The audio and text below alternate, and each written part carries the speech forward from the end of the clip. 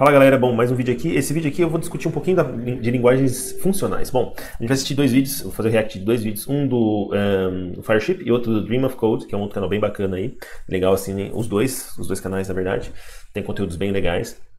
Uh, e tudo isso se passa por uma questão de que é, por, por, muito tempo atrás eu acabei estudando um pouco de linguagens, um pouquinho de funcional, né, entender um pouquinho do paradigma funcional, só que eu nunca tive experiência mesmo com nenhuma linguagem mais estritamente funcional.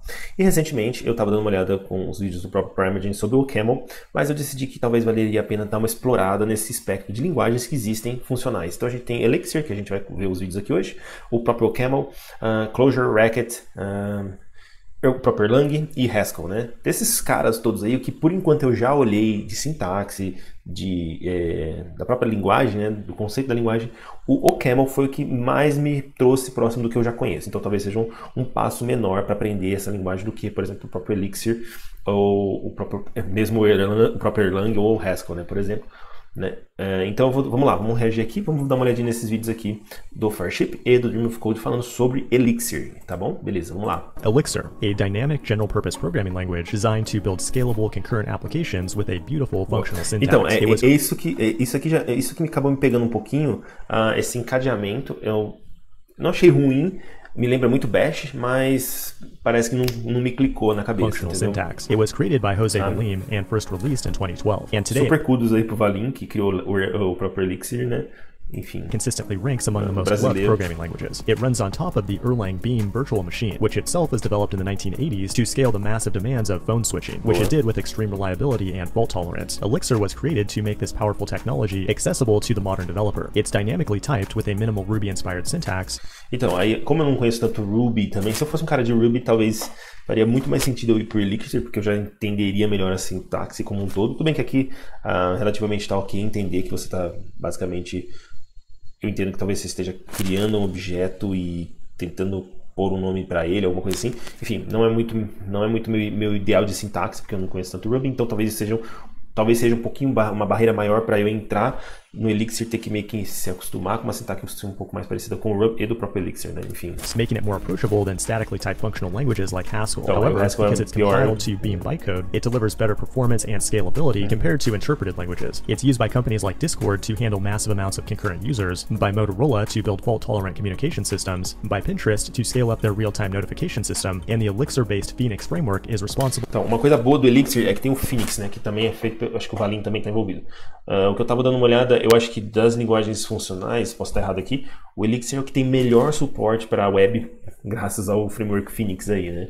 Ele teria uma curva melhor para quem desenvolve web para poder entrar um, nesse mercado com o Elixir. E o mercado está muito mais aquecido pelo que o, pro Elixir no Brasil, pelo menos, do que pro o Camel, por exemplo. Né? Não sei lá fora, né? Uh, full stack web applications. To get started, install Erlang and Elixir, then create a file ending in .exs. To create a variable, give it a name followed by a value. It's dynamic, so no type annotations are necessary. Now print it to the standard output with IO puts. And like Ruby, parentheses are usually optional. Alternatively, you might create an atom, which is a constant whose value is its own name. Anonymous functions can be created with the mm -hmm. fn keyword, which can then be assigned to variables or passed around to other functions. And you can even simplify this expression further using the ampersand shorthand. When working with function expressions, you can use the pipe operator to pass the value of one expression to another without the need for deeply nested function calls. Create a list of items with brackets or create a map to represent key value pairs. The equal sign can be used to assign variables, but it's actually called the match operator to support pattern matching features. For example, we might destructure a list. Então, isso, isso que me, me, me chamou atenção um pouco no Elixir que eu estava vendo, esse, esse, questão do pattern matching ser basicamente quase como um unpacking que a gente tem no Python e outras linguagens. Então isso eu acabei achando que para mim, por exemplo, que está acostumado, é ruim porque eu vou me confundir bastante, provavelmente. Talvez eu, eu acabe aprendendo isso, com certeza, mas me parece que no começo eu vou olhar o código e vou me confundir bastante com isso.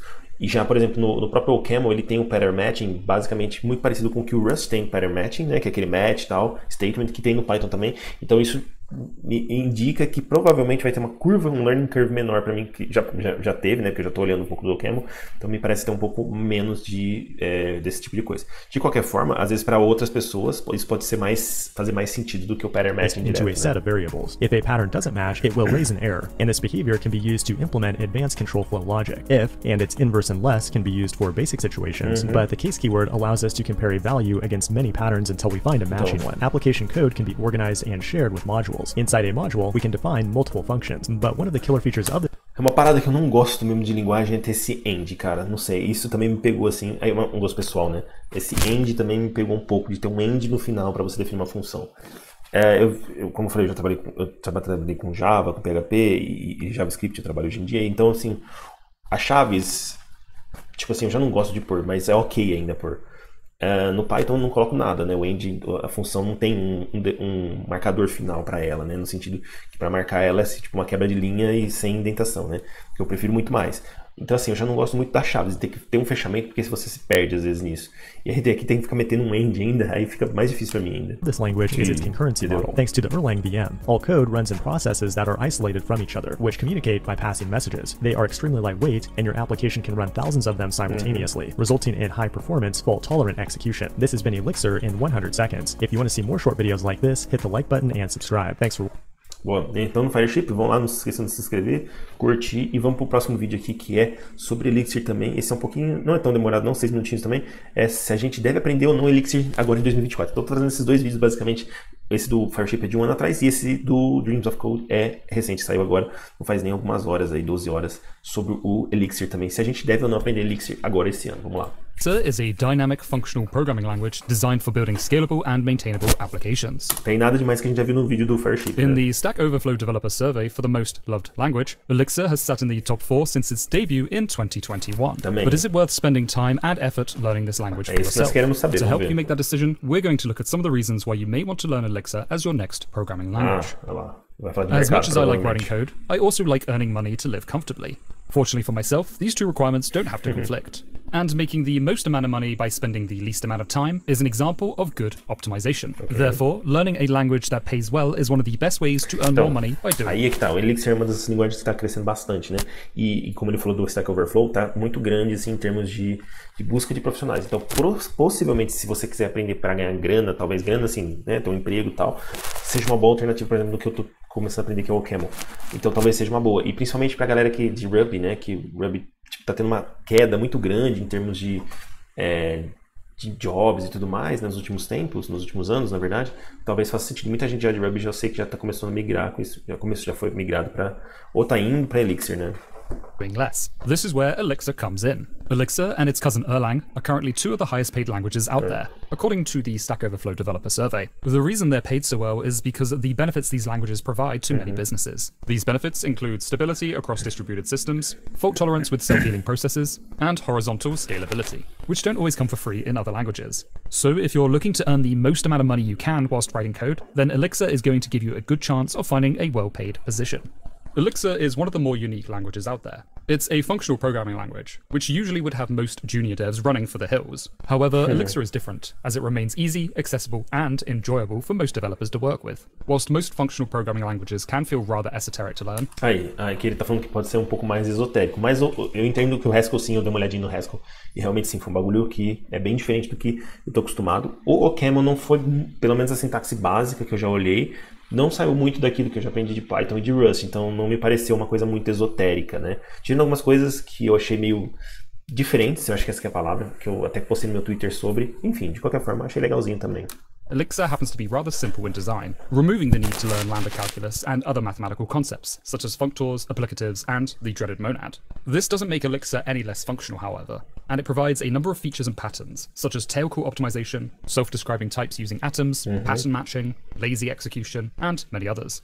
By learning Elixir, you'll also learn a whole bunch of new programming concepts that you'll struggle to find in more imperative. Então é essa que é a ideia, assim, aprender uma linguagem mais funcional para você pegar e entender todos esses outros tipos de conceitos que existem no mundo da programação e que normalmente a gente não está muito atrelado a eles. Mas aqui a ideia, não necessariamente ele está falando até de grana aqui, mas a ideia minha, pelo menos, por exemplo, no, aprendizado, eu acho que vale a pena também para todo mundo que às vezes trabalha já, já tem um job, trabalha com uma, uma linguagem imperativa ou muito orientada a objetos, uh, aprender às vezes outra linguagem, como por exemplo o próprio Elixir, para entender conceitos de, lingu de linguagens funcionais e conceitos funcionais necessariamente, não das próprias linguagens. Né?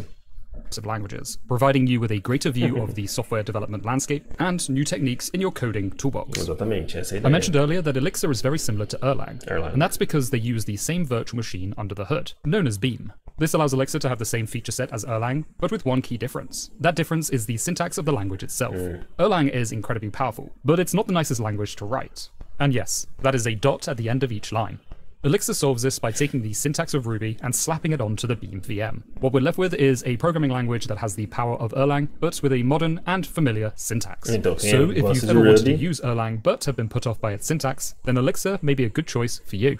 Whilst learning the syntax of a language is really important, there's more to learn in order to become a good software developer. Mm-hmm. Navigating what you need to learn whilst also attempting to learn a new language is difficult, and having a resource to help you learn computer science fundamentals is really important. Fortunately, that's where the sponsor of today's video can help. peraí, deixa eu Brilliant.org is not only one of me to the lá next reason you may want to learn Alexa Ah, is if you're looking to get into falar full sobre o stack web web development.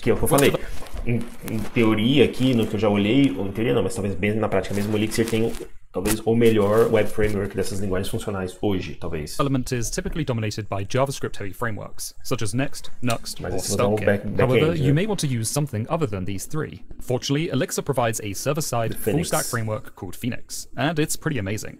Phoenix is mm-hmm. inspired by Ruby on Rails, but it goes further beyond what its senpai provides, with notable features being templating, built-in authentication, real-time events, live reloading, and many others. If you're more of a shoot-from-the-hip kind of developer, however, then you don't need to use Phoenix if you don't wish to. Hmm. Elixir has a number of other packages that you can use by themselves, such as Cowboy, which is a powerful web server, or Ecto, which provides a toolkit for mapping data and interfacing with databases. No matter what you're looking for, there's a good chance there's a package available. Which brings me on to my final reason why you may want to learn Elixir. Because Elixir runs on the same VM as Erlang, this means there's a decent library of packages that already exist. Ah, então, aí já, já tem uma vantagem extra, por exemplo, você tem um, um ecossistema maior, né? Então isso já é This uma enables vantagem. you as a developer to interface with many different software and services, which other new languages Porque assim, uma vantagem, por exemplo, de Java, do Python hoje em dia, é que assim, cara, tem tipo pacotes para tudo, né? Até o próprio Rust tem crescido bastante nessa parte. Então, o ecossistema às vezes é muito mais importante do que o que a linguagem tem efetivamente. O ecossistema que ela está inserido, o que ela traz, o que as pessoas estão criando, né, em volta, tudo, às vezes isso te dá um, um grande uma grande facilidade maior. Eu vou lançar um vídeo também sobre o Pillow, né, do Python, que é uma biblioteca de imagem, né, muito antiga já do Python. Então assim, já existe um, um sabe, essa, essa esse ecossistema já ser bem definido e ter bastante bibliotecas até de certa forma interessantes, não sei se dá para falar maduras, é muito bom para a linguagem. né? may not support as of yet. Because of this vast library, Elixir also provides a modern package manager called Hex, which, as well as managing packages, also acts as a centralized repository bom, for package tem isso, discovery, é. with an easy to use interface similar to using something such as crates.io for Rust. Mm-hmm. To complement Hex, Elixir provides a build tool called Mix, which operates similar to npm with Node or Cargo with Rust. Mix allows developers to easily build, test, and deploy their applications without needing to worry about makefiles or other complex build systems. In addition to this, Elixir brings many other modern features, such as a built-in test framework, a concurrency model that is second to none, and the much-loved pipe operator. Então, All of esse this Pipe is Operator é provided in a language that né? promotes fault tolerance as one of its core principles, allowing you to build services that fail gracefully and auto-heal, saving you from spending time worrying about systems and services going down whilst you're on call. Esse Pipe Operator eu acho interessante, mas me pega às vezes, porque a, a sintaxe como um todo também pode ficar complicada, né? Mas, assim, me parece uma ideia muito boa, mas eu não sei se eu. Pra mim, não sei se faria muito sentido. Eu não sei se eu conseguiria entender tanto. Já que eu uso Bash, no Bash eu uso Pipe Operator também, então tem uma relação direta aí, né? So, if you're looking for a language that is functional, modern, and a little unique, then Elixir is a great candidate to choose. If you'd like me to do some more content on Elixir, then please let me know in the comments down below. Boa, é isso. Fechou então. Bom, é, não sei se vou aprender Elixir, talvez não seja o caso. Eu tô olhando ainda minhas opções, mas provavelmente eu vou acabar indo pro Camel. O que eu queria mostrar, na verdade, talvez, que seria interessante aqui, ah, para quem tá procurando emprego, não necessariamente o meu caso, que eu tô aprendendo, eu tô aprendendo linguagem funcional para outros motivos, pra, como eu disse, para enriquecimento de programação, mas para quem tá procurando job, eh, por exemplo, no Brasil aqui, se você vir no LinkedIn, por exemplo, digitar Elixir, você vai ter aí 1.400, quase 1.500 jobs para tentar se aplicar aí. Ah, não sei se todos são para Elixir, tem alguns que são específicos Elixir, né? Ah, então, até para Senior já, já tem, porque o Elixir já é uma linguagem relativamente 2012, né? Então já tem um tempo aí que a galera já teria uns 10 anos aí, talvez, quem pegou lá atrás, né, para aprender. Ah, diferentemente, por exemplo, se você vier aqui digitar o Camel, que eu acho que não tem nada. Na verdade, tem um resultado só de OCaml aqui, né? Ah, então, possivelmente, aqui no Brasil, se você está procurando um job pra, com, que tem uma dessas linguagens funcionais, ah, não faz sentido aprender OCaml, faz sentido aprender Elixir, né? O Elixir talvez tenha bastante saída no Brasil, até porque o criador José Valim é brasileiro, então isso também tem um, impulsionou bastante essa adoção, talvez, no Brasil aqui. Entre outras coisas que foi dito aí também no vídeo. Enfim, de qualquer forma, que o OCaml é um pouco mais esotérico, né? De qualquer forma, uh, se você está procurando um job e quer aprender uma linguagem funcional, talvez faça sentido aprender Elixir e não o OCaml, por exemplo, ou o próprio Haskell. Acho que Haskell também, uh, Haskell eu não tinha olhado, mas acho que também tem poucos, tem dois jobs no Brasil, uh, não faz muito sentido, né? Entendeu? Belezinha? É isso, então, valeu, um abraço. Até o próximo vídeo, galera.